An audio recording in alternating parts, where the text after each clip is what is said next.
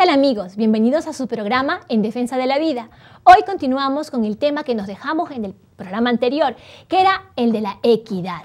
Y hoy tenemos también con nosotros a Marilyn, ella es muy experta en estos temas, está muy empapada, para que nos ayude a ver más allá del árbol, a ver el bosque, lo que hay detrás de todas estas propuestas aparentemente buenas. Marilyn, bienvenida a nuestro programa. Muchas gracias. Estoy muy contenta de estar nuevamente con ustedes.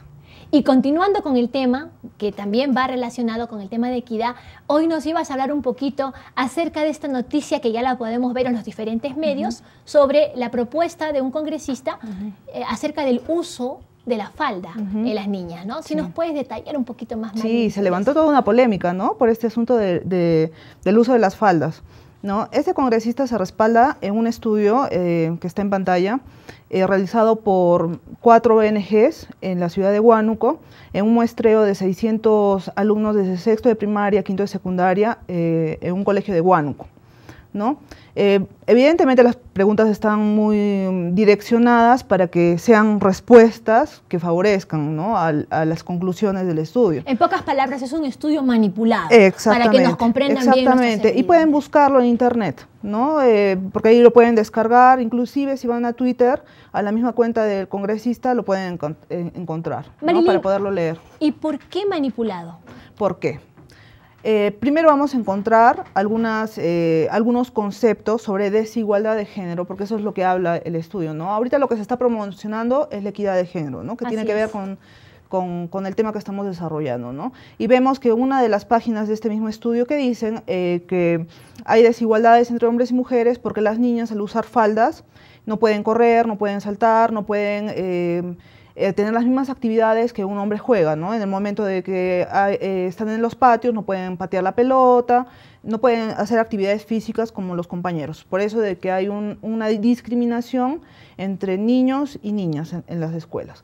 Asimismo, las dice el estudio que las niñas respondieron de que eh, al usar pantalón y ya no falda, em, ya no estarían preocupándose porque los niños miran por debajo de sus faldas. ¿no? Y también este, hay desigualdades de género porque eh, nuestra ropa, nuestra vestimenta no puede definirnos si somos hombres ni mujeres. Entonces, todos estos conceptos que vemos desarrollados en las supuestas respuestas de las niñas es puro feminismo, ¿no? Quieren eh, destruir los conceptos que nosotros tenemos de niñas y de niños. Yo no sé si recordarás, pero yo estudié en un colegio de, católico, un colegio de monjas, un colegio de mujeres, en donde nosotros vestíamos con, con falda. ¿no? Y nosotros, yo recuerdo mucho y bromeábamos con este tema con algunas amigas que estudiaron conmigo, ¿no? Nosotros hemos jugado lingo, ¿no? O sea, eso de saltar sobre, entre nosotras, no subíamos a los resbalones, cuando estábamos en primaria. Pero cuando pasamos a secundaria, nuestros intereses eran otros. Nuestro interés era conversar. Oye, ¿te has encontrado con fulanita como en la fiesta? ¿Por qué? Porque nosotras biológicamente somos más comunicacionales y estamos más que jugando en los claro que lo hacemos, estamos hablando, o estamos jugando volei entre nosotras, ¿no? Pero las actividades entre hombres y mujeres son diferentes por nuestros intereses, biológicamente hablando, ¿no?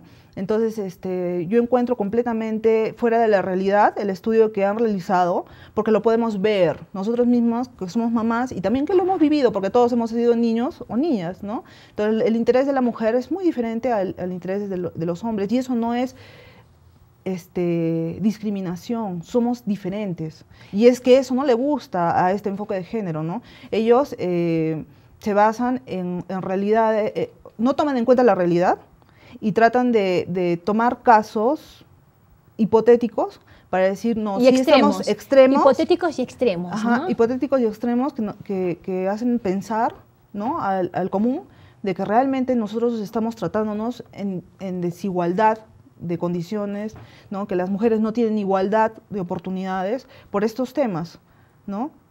Tratan de anular completamente lo que somos. ¿Quiénes somos? Ese es, Eso es lo grave de todo esto, ¿no? Esto es lo grave. Porque eh, es, es, verdad, es verdad que existen algunos estereotipos que son malos. Y yo estoy también de acuerdo en que esos estereotipos se quiten, ¿no?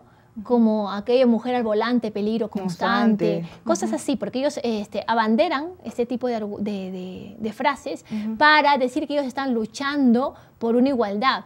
Pero es que esto va más allá de la igualdad. Lo que quieren es destruir la identidad de las personas como hombre y como mujer. Exactamente. Y para eso están este, ciertos, ciertas ONGs como las que he mencionado. Por ejemplo, este estudio lo realizó Save the Children y vamos a ver qué hay detrás de todo esto, ¿no? Porque tú dices Save the Children y lo asocias salvando a los niños, ¿no? Y tú miras en la página web y tú dices, no, pues ellos realizan una, una, labor humanitaria increíble en zonas de conflicto, ¿no? Y tú los ves como los buenos de la película, pero ¿qué hay detrás? ¿Cuál es este el fondo de este asunto y qué es lo que ellos van a promover. ¿Qué persiguen? ¿Qué persiguen? Eh, vamos a ver en la siguiente, en la siguiente imagen, ¿no? Este, hay mucha queja, ¿no? Que las mujeres no pueden jugar, como decía la anterior eh, imagen del, del, estudio, ¿no? Pero miramos que hay campeonatos, de, en, en, por ejemplo, en la sierra, donde usa, las mujeres usamos falda. Tradicionalmente, naturalmente, las mujeres usan pollera. Si tú te vas al Ande, a la mujer andina, y por eso digo que está fuera de la realidad, porque la mayoría de mujeres usan polleras, ¿no? Y es tradicional, no vamos a, no vamos a, destruir nuestro, nuestra idiosincrasia y el, eh, cómo la mujer eh, andina se viste, ¿no? Y, aspectos que constituyen parte de nuestra identidad. Identidad nacional, ¿no? Y, miramos, mira, por ejemplo en esta imagen, ¿no? En los campeonatos de, de, de mujeres jugando fútbol, mira cómo levanta la pierna ella, jugando fútbol. ¿no? Entonces es completamente irreal, por eso lo digo, ¿no? Y con lo que tú decías, ¿no? ¿Cuál es este, eh, cuáles son las campañas que están realizando ciertos grupos para que nosotros digamos, sí, pues se está discriminando. Y vemos en esta siguiente imagen a un movimiento que está muy fuerte en redes sociales, en, el Facebook especialmente, que es este MQT, este, eh, es un grupo de mujeres que, como tú dices, toman eslogans de supuestos estereotipos, ¿no? para, crear en el imaginario eh, la idea de que nosotros estamos en desigualdades. ¿no? Y colocan en esta imagen, hablando sobre el uso de las faldas, este, a niños usando el tutú. ¿no? Cuando esta ropa, el tutú, es eh, de uso de mujeres. Los hombres practican, claro, que danza, danza clásica, ¿no? Pero ellos usan malla. Otros El, el enterizo es un enterizo. Y todos lo sabemos, siempre ha sido así, pero ellos los ponen como, como, como si fueran mujeres, ¿no? Afeminados con el uso del tutú. ¿Y, qué dice este, esta publicación que ellas eh, realizaron? ¿no? no se nace macho, ¿no? Hacia la construcción de masculinidad saludable. Eso quiere decir que quien se viste con pantalón, el hombre que se viste con pantalón, es, un, es una masculinidad tóxica. Y vestirse como, mujer es una, masculinidad, saludable. Y esto, toda la repercusión que genera, bueno, nosotros personas ya adultas, formadas, con criterio, podemos de alguna manera defendernos ante estas ideas tan absurdas, ¿no? De plano, porque hay que tener sentido común para darse cuenta que esto está fuera de toda lógica. Pero los adolescentes que están en plena formación, que están definiendo su identidad. Y que ellos están más al tanto de las redes sociales porque en ese mundo se mueven. Y es por eso que hacen ese tipo de campañas para que ellos crean en esto. Siembran esa, esa exacto, eh, ideas. ¿no? esa duda, ese entonces no saber bien, bueno, entonces cómo se es hombre, cómo se es mujer. ¿Y quiénes promueven todas estas campañas? En la siguiente imagen podemos ver eh, la imagen del congresista de Belaunde. Él participó de una campaña sobre estereotipos, justamente en el ballet clásico, y ahí lo vemos usando un tutú. O sea, esta no es montada. No, es, él participó en esa yo campaña. Yo pensé, yo le he visto esta imagen en redes, yo sinceramente pensé que era montada, porque dije, no creo que el absurdo llegue a tanto. Él usa, usando tutú, como la imagen de los niños, ¿no? Esta es una masculinidad saludable. ¿Te das cuenta? Y ahora en el Oscar, que también en redes se habló mucho de este, este actor, Billy Porter, él es homosexual y él es activista eh, por los derechos LGTBI, ¿no? Y si tú miras las publicaciones, por ejemplo, en el diario El Comercio, en La República, en todos los diarios, este, miras que alaban mucho el look ¿no? de él, que ha roto con todos los estereotipos. Así dice exactamente la publicación del diario El Comercio. ¿no? O sea, como una tendencia, como algo bueno, como algo bueno, es una masculinidad saludable, como hemos visto en la anterior toma de, lo que promueven estos grupos feministas. ¿no? Pero ¿a dónde va todo esto? ¿no? Está bien que los niños usen, usen falda, está mal que las niñas usen falda y que no las dejemos usar pantalón. Y vemos en la siguiente imagen una toma de lo que ha pasado Mira de qué fecha es. Es del, 20 de febrero del año 2000, no, en la anterior imagen, del año 2018. Mire, antes de que se aprobara la ley de identidad de género en, en, Chile. Es de Chile. Esta es una toma de Chile. Del, ahí está el diario, Tele 13. ¿ya? Y dice, el colegio de Chillán permitirá a estudiantes trans usar uniforme acorde a su identidad de género. ¿no? ¿Eso qué quiere decir? Que las eh, los hombres que se perciban como niñas eh, usarán uniforme de usar mujer. uniforme de mujer, ¿no? Entonces, no es simplemente que las niñas eh, no puedan realizar actividades físicas como los varones, que como haya no los quieren hacer creer, que ese es el, caballito de, batalla, ¿no? La idea, la idea central, el eje central en el que sustentan esta petición. Hacia eso vamos, a que existan este, niños que se perciban como niñas. Como niñas. Y niñas que se perciban como, niños, Exactamente, y que ellos puedan identificarse con el otro sexo usando este, la ropa del sexo con el que, no con el que nacieron. ¿no? Entonces, eh, y es paradójico esto, porque nosotros nos dicen, a las personas que somos heterosexuales, nos dicen que, que nosotros estamos estereotipándonos y usando determinadas prendas, ¿no? Como por ejemplo tú estás vestida con falda, con blusa, ¿no? Porque eres dama, ¿no? Y los niños eh, con pantalón, con camisa, ¿no? Porque así nos identificamos con nuestro sexo, ¿no? Es como nos expresamos, nuestra expresión de nuestra sexualidad, ¿no? Pero ellos, para identificarse con un sexo contrario, tienen que usar el mismo atuendo. O sea, para nosotros está mal. Ese estereotipo que ellos critican son los que usan, sí, escuché una declaración de la Miss España, del Miss, Miss, no sé cómo decirlo, bueno, este señor, este joven, decía que él de niño, de pequeño, le gustaba el color rosa y las muñecas. Algo muy criticado por estas este, defensoras del, del, feminismo. Claro, ellos sí pueden usar los estereotipos, pero nosotros no.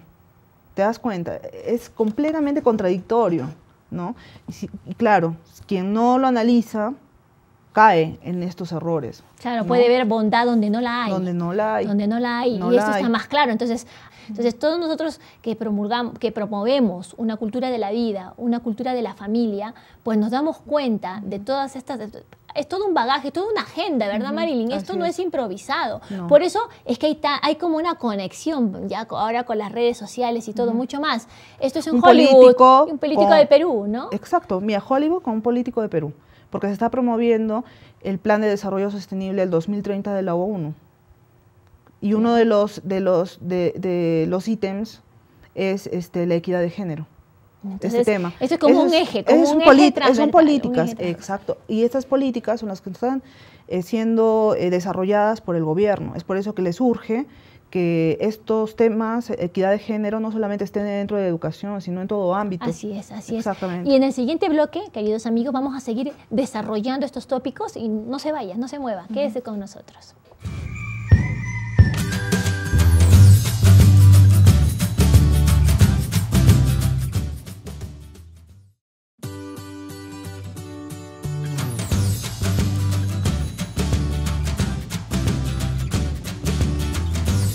Amigos? Continuamos aquí en su programa En Defensa de la Vida. Aquí con Marilyn acompañándonos, ella es experta, es abogada, experta en temas de género. Eh, estamos con ella bien, en el bloque anterior habíamos visto una investigación con la cual el congresista Belaunde sustentó esta propuesta del uso de la falda, o sea, que no sea obligatoria, ¿no? Y una de las principales entidades que avalaba este estudio era Save the Children, ¿no? Y aquí podemos ver, para que Marilyn nos traiga aquí una toma, una toma ampliada, eh, del Día del Orgullo Gay, ¿no? ¿Qué, colocaron, no? Sí, esta es una eh, toma de Twitter.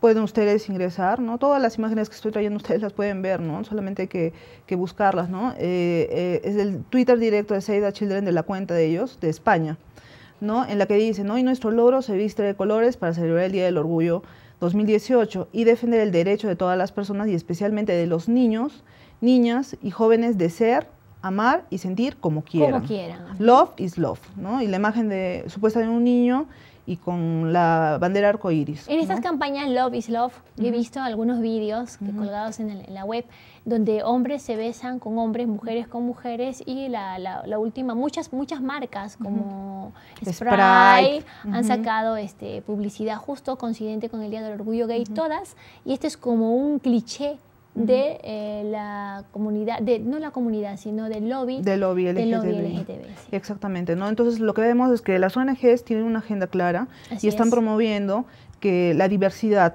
entre comillas, ¿no? Y los 113 géneros que la ONU este, ha determinado, porque existen 113, ¿no? Entonces, este, no sería eh, inusual de que existieran eh, niños homosexuales, transexuales, ¿no? Porque esa es la agenda que ellos promueven, ¿no? Hoy por hoy en nuestra sociedad, hablando de Arequipa, de donde estamos transmitiendo este programa, eh, se ha visto una, como una explosión, ¿no?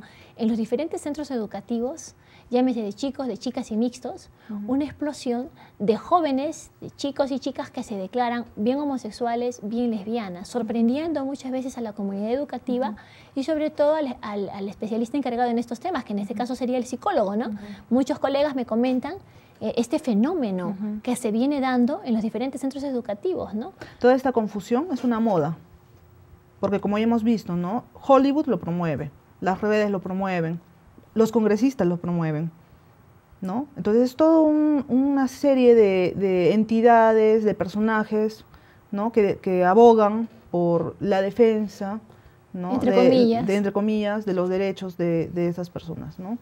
porque consideran que hay desigualdades de género. Con las consecuencias que ya estamos viendo, graves, Exactamente. unas consecuencias porque muy un adolescente, un niño está en desarrollo, está en una etapa vulnerable. Me decía un niño, ¿eh? Un niño me decía, nosotros estamos vulnerables y en esa vulnerabilidad eh, se ve aprovechada por estas ideologías. Por estas confusiones, ¿no? Por esas confusiones, no los dejan crecer sanamente y sanamente, ¿no? Porque esto a fin de cuentas lleva a un saco roto, un saco sin fondo en donde todo tipo de conductas es posible con el consecuente desorden moral que esto lleva, ¿no? Y ya lo podemos ver, a veces cuando vemos las noticias los feminicidios, decimos, pero ¿por qué? ¿Por qué esto está aumentando? ¿Por qué madres están asesinando a sus hijos? ¿Por qué atentan violentamente? Todo está conectado, está la cosecha la cosecha de esta siembra. Exactamente, sí. Y es muy preocupante y nosotros tenemos que permanecer alertas, ¿no? Las que somos mamás, las que queremos ser mamás, ¿no?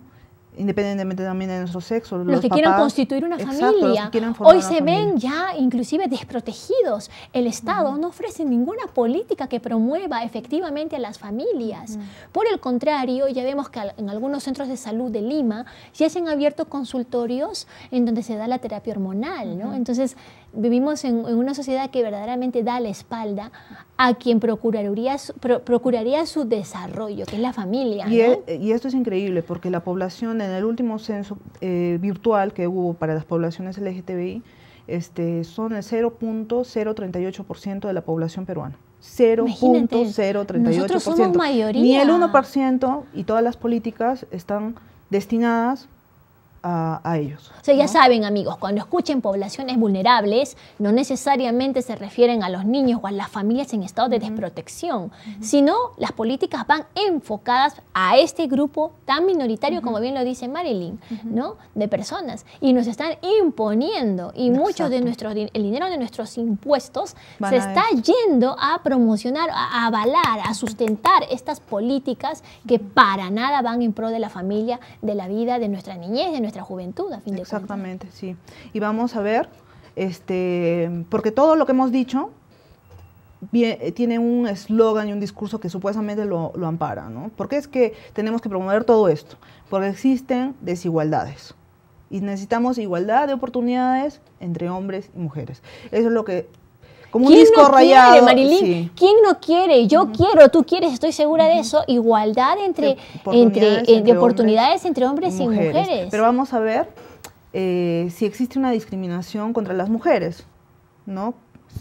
Si realmente existe o no existe. Si es realmente que nosotros estamos en desigualdad de oportunidades, ¿no? Entre, entre nosotros. Y vamos a ver en la siguiente imagen eh, movimientos ¿no? que están reclamando por la porque La existen salarial, desigualdades, ¿no? Y encontramos temas, por ejemplo, la brecha salarial, que las mujeres no ganamos igual que los hombres, que los hombres tienen una mayor paga que las mujeres, ¿no? Por el mismo trabajo, este, le pagan a una mujer menos. Esa es la brecha salarial, ¿no? Cuando lo escuchan, la brecha ¿Y qué salarial tan desierto refiere es esto, Marilyn? eh, no es cierto, absolutamente no lo es. ¿Por qué?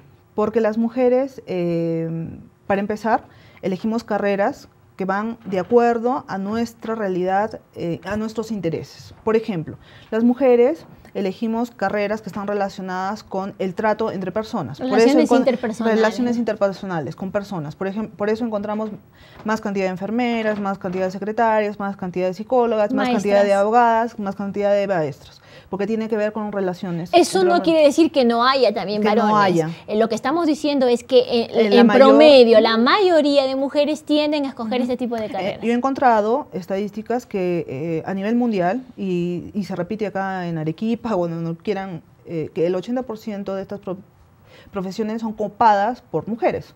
¿No? Hay más mujeres en estos ámbitos, en estas profesiones. ¿no?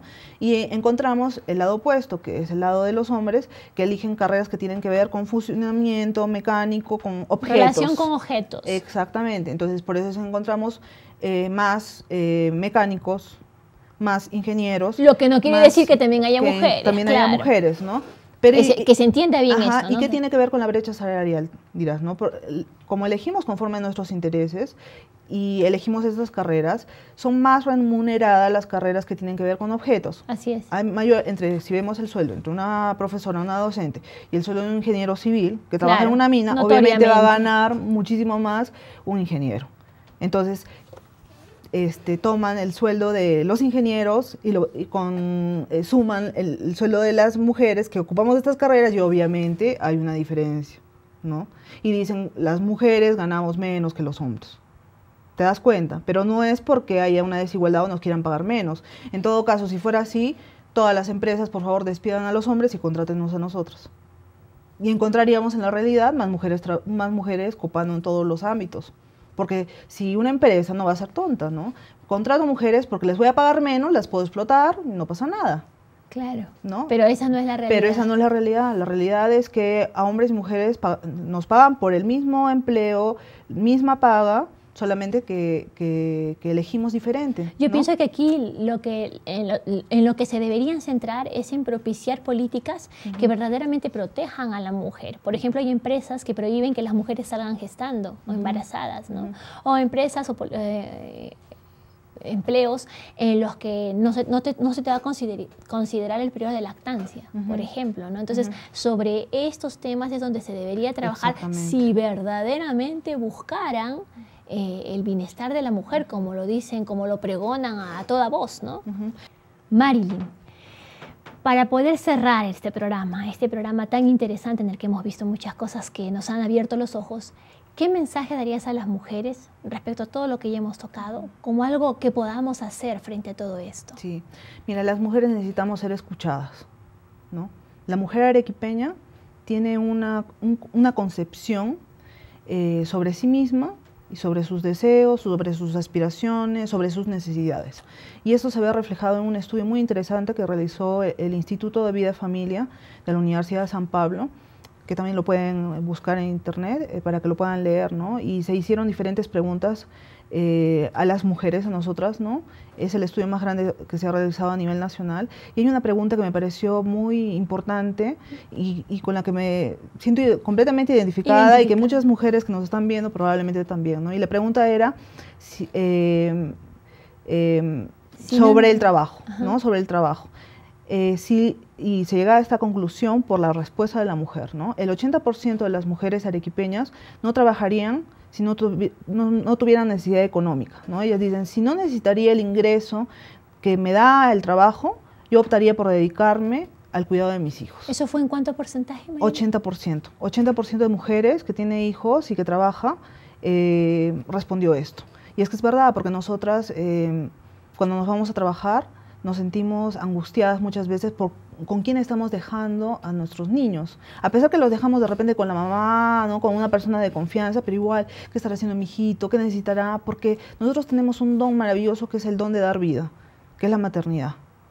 ¿no? Nosotros la damos, la nutrimos, la Exacto, y nuestros niños necesitan de nosotros. ¿No? Porque nosotros le damos de lactar, por eso hay periodo de lactancia, ¿no? y, la ley nos ampara Pero no solo es la lactancia, ¿verdad? Eso va mucho más allá, se Es la formación, el apego, ellos nos necesitan y nosotros también a ellos. Y es importante que nosotras necesitamos también ser escuchadas, ¿no? Y valorar nuestras diferencias.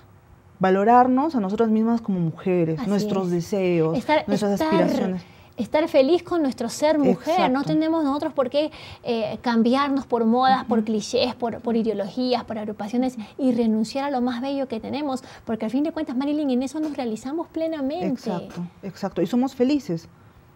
Nosotras trabajamos, y mm, la mayoría de mujeres que lo hacen, nosotras trabajamos porque amamos a nuestros hijos, porque le queremos dar mejor calidad de vida a nuestros hijos.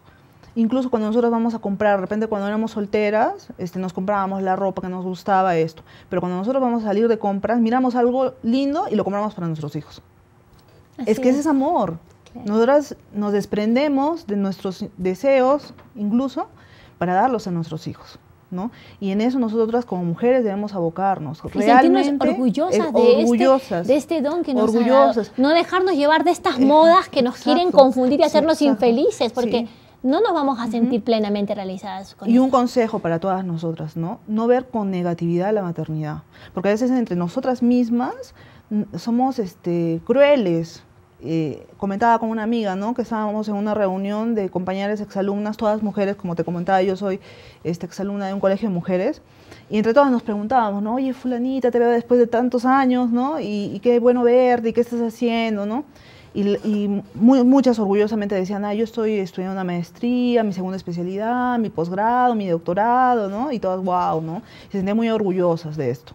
Pero le llegó a las que recién están emprendiendo la maternidad, ¿no? Y algunas decían, este, estoy en mi casa cuidando a mis hijos, ¿no? Porque mi bebé es pequeño, porque he decidido esto, ¿no? Entonces ellas miraban con, con ay, con lástima, ¿no? Ah, y, y yo lo he hecho, yo lo he hecho cuando me ocupaba de mi hijo, postergué mi, mi, desarrollo profesional por cuidar a mi hijo, por algo mayor para mí, ¿no? Y fue una decisión entre mi esposo y mía, ¿no? Que yo iba a dejar de eso de lado para dedicarme al cuidado de mi bebé. Entonces, este, que cuando me preguntaron esto a mí, yo dije, eh, sí, estoy en casa, pero estoy estudiando una maestría y con eso salvarme, ¿no? Del, momento incómodo, ¿no? Y nosotros no debemos hacer eso, debemos decir con orgullo, estoy cuidando a mis hijos, si es lo más importante de la vida. Así es, estamos forjando, estamos forjando una sociedad mejor. Porque al fin de cuentas la mamá, el papel de la mamá es insustituible, es un papel muy importante que garantiza el bienestar social. ¿no? Si hoy por hoy vivimos tantas, tantos problemas a nivel social, estos están relacionados con la ausencia muchas veces de esta figura tan importante. Exacto, el amor, el apego que nosotras le damos a nuestros niños es lo más maravilloso que, que puede haber, ¿no? Así es, Marilyn. Y de verdad, con esta idea tan bonita, terminamos nuestro programa y espero que les haya servido de mucho, de mucha luz y esperamos también contar contigo para seguir desarrollando estos temas y seguir viendo el bosque que hay detrás del árbol. Gracias amigos, gracias Marilyn por acompañarnos.